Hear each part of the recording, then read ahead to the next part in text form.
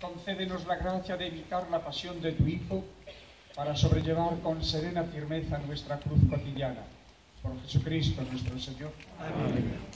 Padre nuestro, que estás en el cielo, santificado sea tu nombre, venga a nosotros tu reino, hágase tu voluntad en la tierra como en el cielo. Danos hoy nuestro pan de cada